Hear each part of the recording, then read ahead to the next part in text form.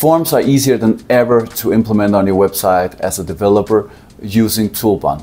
And it's free. So let's go through how you do this and how it works. All right, first I go to my Play project. So if you haven't made a project, just make a project. And then I will make a new tool. I will say that it's a form.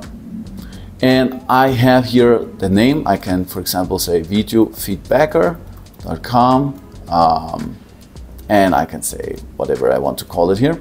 And I can save this one here. When I have made it here, I can see all the things that have been sent to this form. There's nothing yet. I go back into edit mode here and I can copy here this example. This example just shows you how to do it. I'll go in here and I have an example on how to do this here. So I just have like a template here and uh, what we can do is we can paste the, the code in here. So let me just paste it here boom. And what we can do here is you can see there's an email, there's some description, there's a text, and then there's something that's hidden, that's a redirect here. And the redirect just goes back to where, uh, where you want it to go when the person have submitted.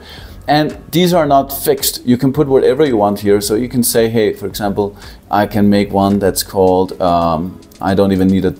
I don't even need this one. I can just write one here that's like called uh, hello world. And then it will work. Now, what you do is you can open this form here and you can see that it's actually working. So I can make like an email here, uh, boom, boom, boom, and I can write a description, description, and another uh, one, two, three here.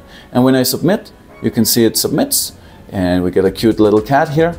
And then uh, I will be able to see inside of my input here uh, that I have now uh, um, a form submission I can see when it was created, I can see what IP it was from, and I can click show where I also see all of the information here. So this makes it very easy for you to receive forms on your website without having to build all the infrastructure for that.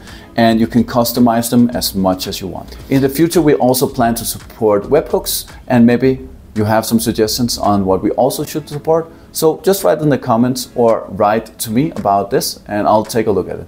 See you in the next one.